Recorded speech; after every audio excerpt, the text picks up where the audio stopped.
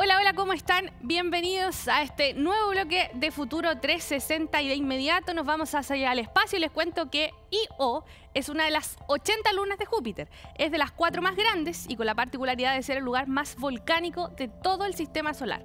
Ahora la sonda Juno de la NASA comenzó una serie de sobrevuelos sobre esta para conocerla más en detalle. La, la maniobra, digo, será parte de una serie de nueve que se realizarán durante el 2023.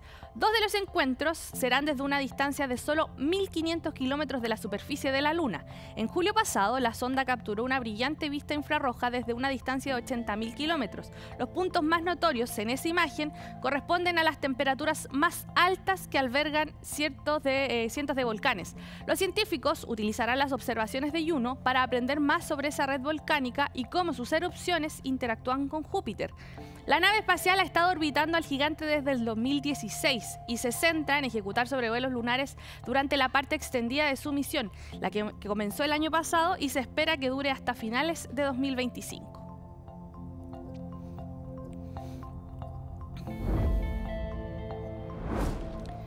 Un importante avance médico desarrollaron científicos españoles, quienes crearon un algoritmo que detecta el riesgo de esquizofrenia a partir de las huellas dactilares con una fiabilidad del 70%. Esto permitirá mejorar el diagnóstico precoz en pacientes que ya presentan síntomas o que tienen una predisposición genética. El estudio de esta herramienta se probó con 700 pacientes con esquizofrenia y 850 personas sanas.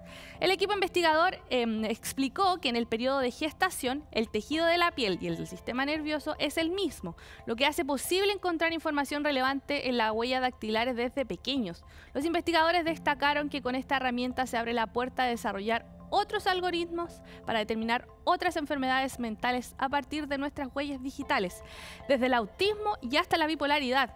Un avance significativo que está a la espera de una patente y de los últimos estudios para la validación eh, para ser usado en centros hospitalarios.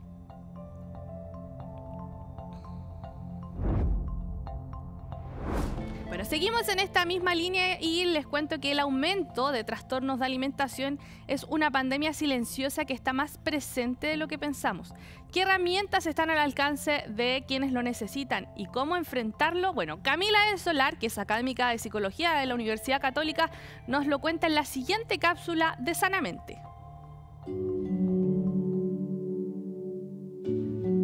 Cada vez hay más diagnósticos de distintos tipos de trastornos de alimentación. Los principales, yo creo que es bueno entender que son los, cuadros restrictivos, donde está la anorexia, y, que consisten en un problema de baja de peso, del que la persona rechaza alimentarse y, y, caen en niveles importantes de desnutrición. Y existen los otros cuadros de una línea más impulsiva, donde cabría la bulimia, los trastornos por atracón.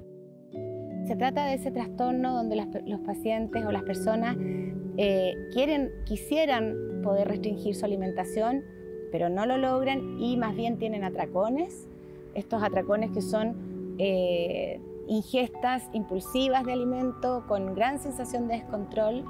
Los trastornos de alimentación son multicausales y la multicausalidad está determinada por factores socioculturales, también por factores familiares y también por factores individuales. Las tres cosas coexisten, en distintas personas se presenta de distinta manera, pero el origen de este problema tiene que ver con una sensación de inseguridad muy grande, con pocas herramientas y ante esa inseguridad la resolución y como que la salida es si estoy flaca, se me va a hacer todo más fácil.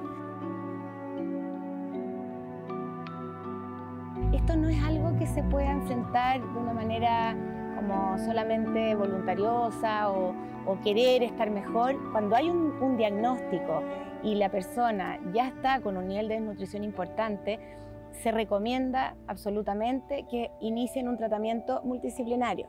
¿Eso qué significa? Que el tratamiento no solamente es con psicólogo, sino que también tiene una pata médica que no se puede prescindir de ella porque se trata de un trastorno que es a la vez mental y a la vez fisiológico. No debiéramos los padres permitir que una, que una hija de un peso normal esté haciendo una dieta, pero nosotros debiéramos supervisar siempre que nuestros hijos no se disparen no comiendo, no hagan, no, no empiecen a restringir sin que nosotros podamos ver que se están alimentando bien. Porque el origen de todos estos problemas es la baja de peso. Y el origen de esa baja de peso suele ser una decisión de hacer dieta.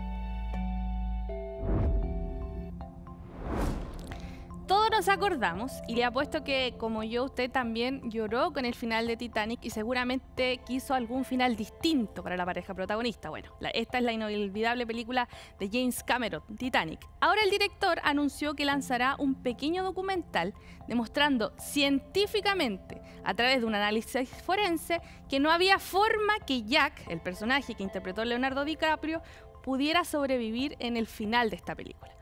Desde su estreno en 1998 ha existido este debate si es que Rose, interpretada por Kate Winslet, podía haber dejado un espacio para Jack en la tabla que le salvó la vida.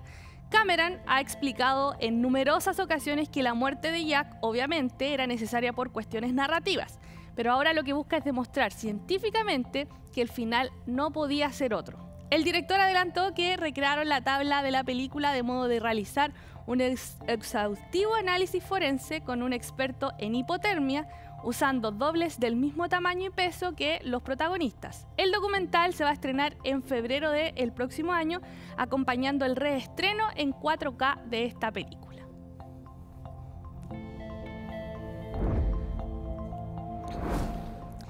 Tres emprendimientos chilenos fueron reconocidos como los mejores en el encuentro internacional de emprendimiento e innovación ETM Day 2022, como parte de la iniciativa nacional Chile Más Pitch Day. ¿Quiénes fueron estos galardonados? Bueno, los vemos en nuestra página web futuro360.com.